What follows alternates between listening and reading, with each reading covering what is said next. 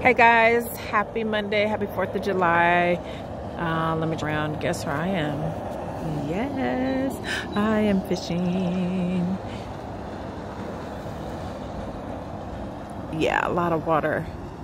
Yep, out here fishing. Looked at the weather last night and said, you know what? Oops,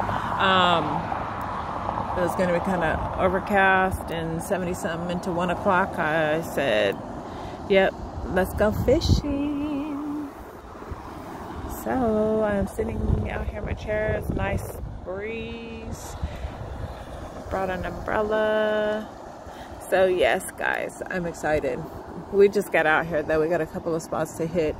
I'm on this road. There's a lot of road here to where we could just pull over and there are in and if I get tired I could just um, jump in the truck and turn on the AC and chillax while Larry um, continues fishing. He's over there getting his stuff ready. Well, he's already been in the water, but he's changing up. So yes, guys, I'm so excited to be out here. I miss fishing. It's so peaceful. Cars over there in the background freeway.